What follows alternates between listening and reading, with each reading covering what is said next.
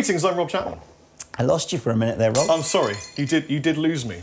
it sounded great, the though. dark depths of what it's, it's one of those things. happens, isn't it? Yeah, when you find a guitar that just has a few little resonant places where you know that note's going to fire off Yeah. into some musical fireworks. Well, Fire. some of you will be breathing a sigh of relief at this stage that this is the last of our um, Gibson USA 2018 videos. Uh, six episodes in all, starting with the Les Paul Standard and the Les Paul Traditional, going through the classics and the studios and the tributes and the fadeds and then the 3SGs and then the Vs and the Explorers and finally, and really last but by no means least, the Firebird. Firebird. Firebird, fi- what was it? Fireball? What was the kids' program? XL5. Fireball XL5. Five by XL5. Commander Makara.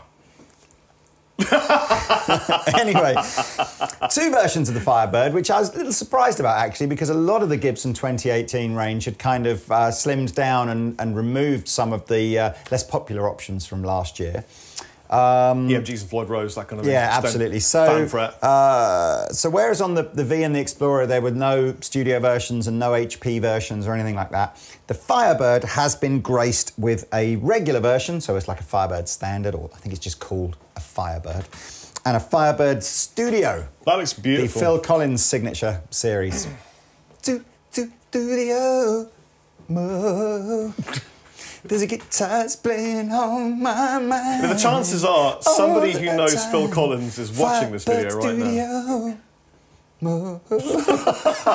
anyway, so look, this is proper. This is, you know, it's just how it's supposed to be. The reverse headstock, the really funky scratch plate with the Firebird emblem, mini humbuckers, the through body thing where the, you know, like the, the, the, the neck is joined to this sort of slightly larger center, center block and then the wings are glued on the side. They decided to go with just the, the flat scratch plate on the back, whereas on the every other Gibson guitar it's been slightly knurled. Has it really? Oh, I see what you mean. What the actual piece of plastic? I bet that changes as they go through the year, depending on what they run out of. Um, It's good. You just got to have an arm that's a mile long to be able to play It i- open chords. It is the longest reaching. It's weird as well because all these Gibson guitars are the same scale length. So the distance from here to here is the same. But on some guitars, that is like here. I've completely gone, you know, here. And on this particular guitar, it's just further this way. So it feels like you're extending more. All guitars are equal. Some are just more equal than others. Said um, the man George Orwell. Well, I just said it. Just No, who said, it who said that? Who wrote I 19... just, wrote- I just said it then? Who wrote Animal Farm? Was that George The Orwell? animals. Was it George Orwell? Yes, it was George Orwell. George Orwell. Didn't, isn't that a line from some... It's that from, yes. Some men are born... I think it's from Lord of the Flies. I don't know, but it's a good quote to I don't think Rob and I are particularly expert on any kind of literature. Uh, well, Forsooth, sir. in I- I would- fairness, we got a few magazines we, you know, pretty familiar with from way back when. But Funnily enough, I can proper actually... English literature. to, not that it's of any use in my entire life, but I can recite about an hour of Shakespeare Can or, you? or uh, Lewis Carroll stuff like "Twas brillig and the slidey toads did gyre Do you know and gimble in the wabe. All mimsy were the borogoves and the mome raths outgrabe. Beware the jabberwock, my son, the claws that catch, the teeth that bite. Beware the jub-jub bird and shun the frumious bandersnatch. Pete's always looking out for the Get bandersnatch. a load of this! Do you know where Lewis Carroll lived? Uh, down the road from me.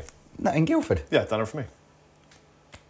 You're down the road from me. You're like an hour from me. Oh, I see what you mean. Well, Yeah, in relation to Americans If you who want- drive you for 10 miles and it's you like know 10 where, hours You know where the nothing. castle is in Guildford? The Yeah, Roman the one you took your trousers down in. Exactly. He, uh, it's literally opposite that. And there's a little plaque outside that said Lewis Carroll lived here. I got one then. I got one. You know the guy that wrote Tarzan?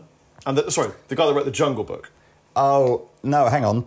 The Tarzan was a Lord something or Not other, him. wasn't it? Jungle Book. Jungle, Book wasn't that Walt Disney? No, Walt Disney did not write the Jungle Book. the author of the Jungle Book uh, lived in a house uh, 10 minutes from my house in Lived in Brighton. a house, a very big house in, In the country. So, where did the last five minutes just go? Well, I Firebird. recited some.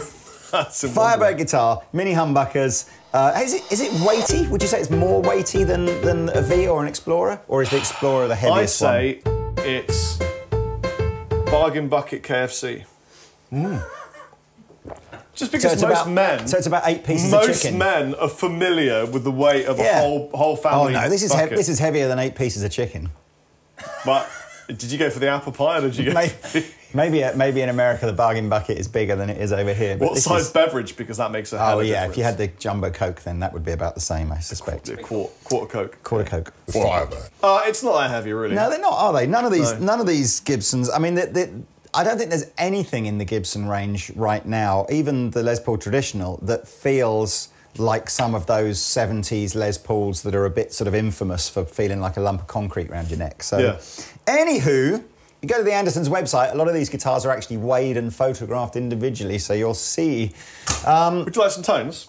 always. Let's just do that now before we start talking about something else completely random. I had to search for that switch. Did you? did you- I saw that. I wonder what you're going to do. Also, I think that would make a really cool tattoo one day. It's a great. It's probably the best Gibson If you're that a, they do. if you're a, a massive Firebird. Firebird fan, like was it Johnny Winter was a big Firebird playing Yep. guy? Yeah. Then I'd, I'd whack that right on my forehead. I would absolutely. It's just awesome.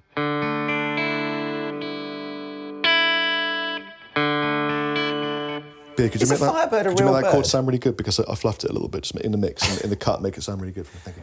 Sorry. Is a Firebird a real bird? Or is No, it it's a mythical legend. Bird? It's, it's a Greek. Phoenix. It's the legend of the phoenix that burns in the ashes and comes back. Because it just to looks like an eagle with pointy feet. Uh, I'm going to say It's a lady it's. eagle. Hello. or, or maybe a female. I'm sorry.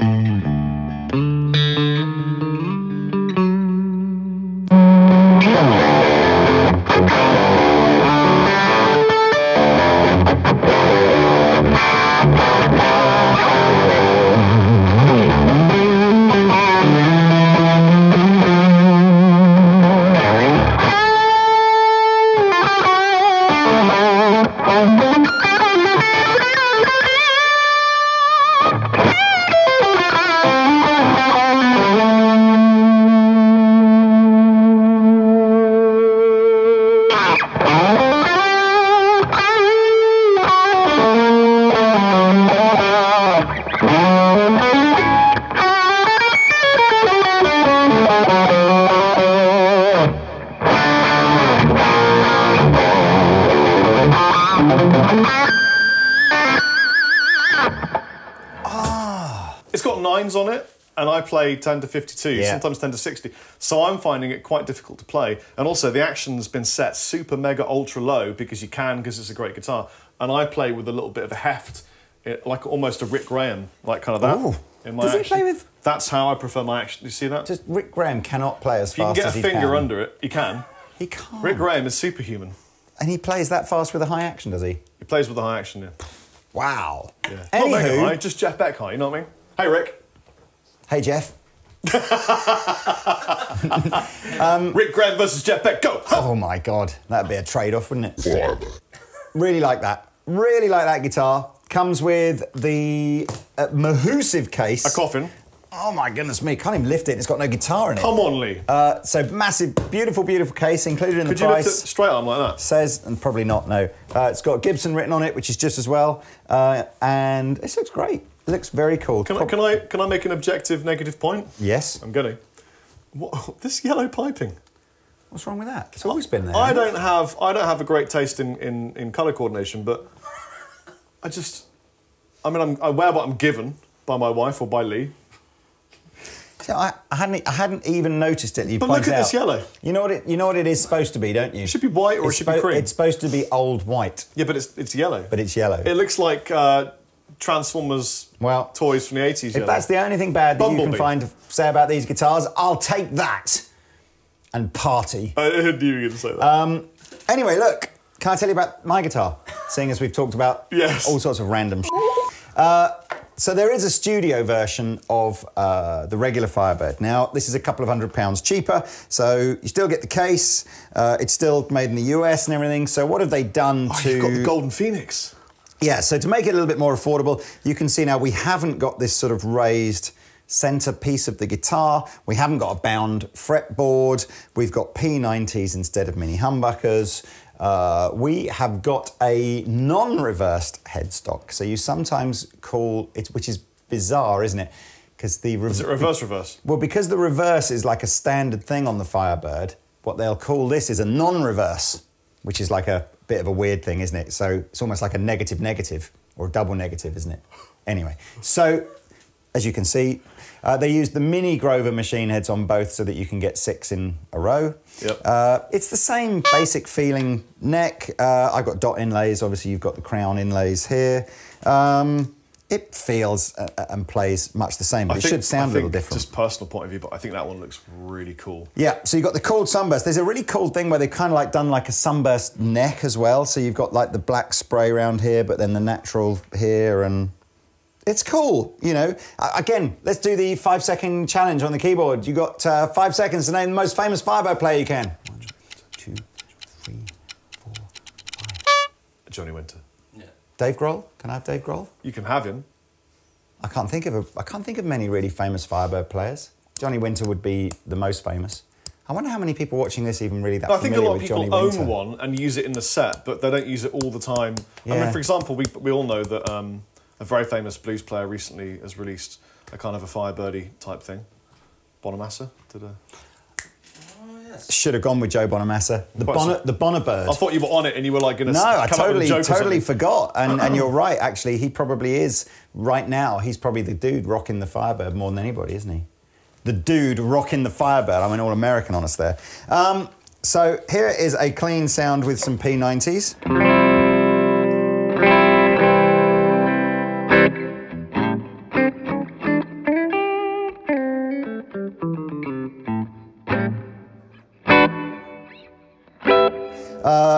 Was both together. Let's do the bridge pickup. Sorry, the neck pickup.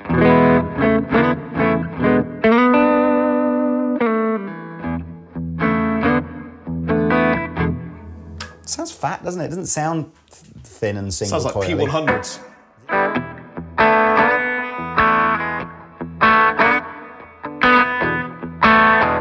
I like it. It's got like a quacky sort of sound to it, hasn't it? Both together. Uh, take volumes and tones downs, and it'll go quieter and less bright. wow, wasn't expecting that to happen. Um, let me try it. What I was trying to do is, if you roll it off just a tiny bit, you get more of a tonal thing than a volume thing. If we gain it up using the distortion channel on the Marshall 2525,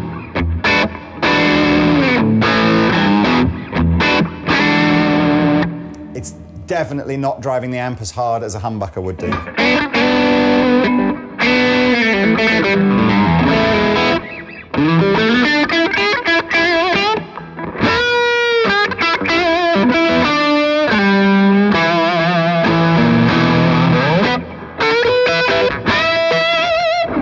That's beautiful. Can't play any Johnny Winter stuff, uh, but it's probably something like that. Yeah. Um, Can we swap over them? Yeah, so look, again, as has been the theme really with, with the 2018 range, you know, less models, less colours, but hopefully more obvious choices and simplifying, you know, your choice decisions.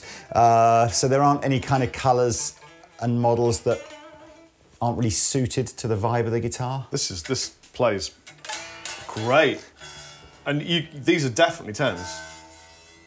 What was it? Fireball? Firebird. Firebird.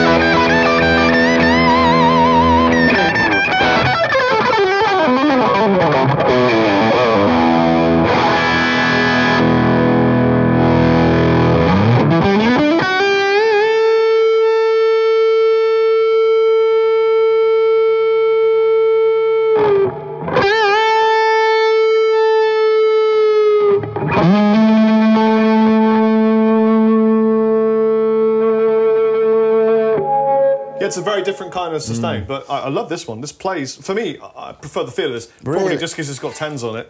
It's just a bit more. To, to, it's a bit more work. I like this I one better. like. I like. The, well, there you go. We found I actually like the look. I haven't really played this much yet, but I just like the look of it better. It's the Cadillac of guitars, isn't it? It's a great looking guitar. When you see non Gibson brands kind of rip this shape off, Yeah. they never look right, do they? They always look, and then you see this and you just go, yeah, that's right. Weird. Yeah. Weird. So now here's the thing. I think guitar players don't settle on a guitar shape or a look until they get into a band and they want to stand out and have their own unique kind of vibe. You're not currently in a band, currently.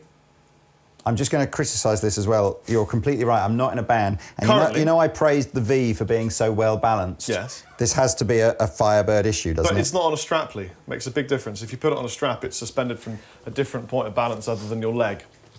I just happen to have a black and white matching strap here. The Cat Gibson. Challenge accepted. Comes Lee. Praise the V. But if you were in a band, If I was in a band, which guitar would you pick to be your thing? Say it in three. Three, two, one. Les Paul. Strap. I thought you'd go strap. Yeah, You went Les Paul. There you go. Uh, Do you know what? That's your I, I would. guitar. I would probably, if I was in a band, I'd probably be one of those guitarists that wasn't synonymous with a particular guitar. I think I'd. wa- I think I'd be a bit like Joe Bonamassa, minus the talent. But I'd just literally try and change guitar regularly, or like Richie Sambora, the legend Minus Orianthi. of Sambora. yeah, minus all the drugs and alcohol and. Uh, I like him for that. Ah, it's back, had in, a- the, he had a back bit in of the a- day, he was just a legend. But yeah, again, Well, he had a hard deal with Bond, Bond, didn't he? Mr. Bon Jovi gave him a hard deal. Mr. Joe V. But Right, hang on. Let's just good. see what happens. Ready? Live on camera for the first time ever. It stays, it stays where it is because Oh, yeah. it's, it's what, the way it's designed. Um, so clever, these people. Well, no, it's just You need these people. Gibson know a little bit about. Do you think so? It's not their first rodeo. You know, they've they've built built guitar before. anyway,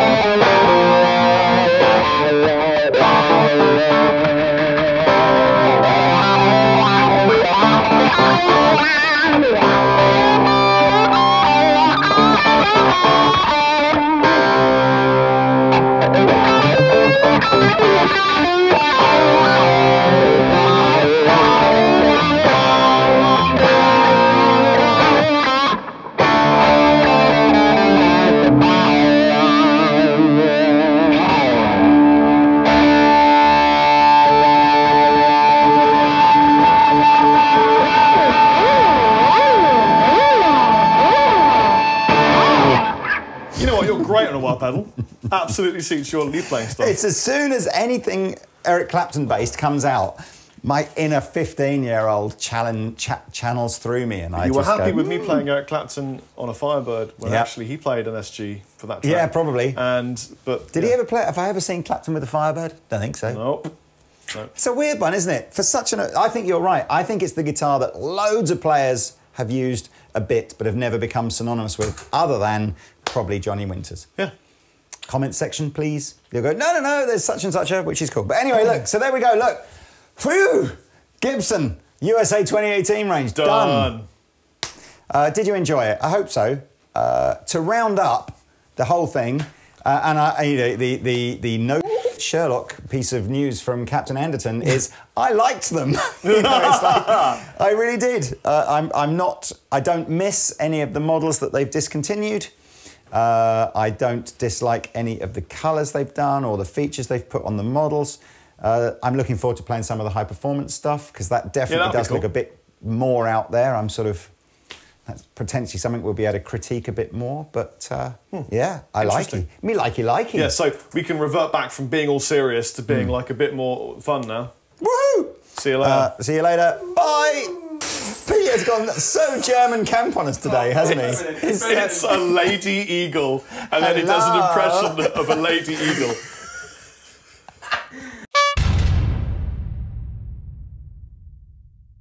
Hey everybody, thanks for watching the Andertons Guitar YouTube channel. If you're a drummer or a keyboard player or interested in music technology, you might find one of our other channels interesting, and I'll put details of those in the description below. If you want to find out more about the products we've just featured, please click here. If you'd like to buy a t-shirt like this, please click here. If you want to watch another video on our guitar channel, click down here. And to subscribe to our guitar channel, click here. Thanks again for watching, and we'll see you next time.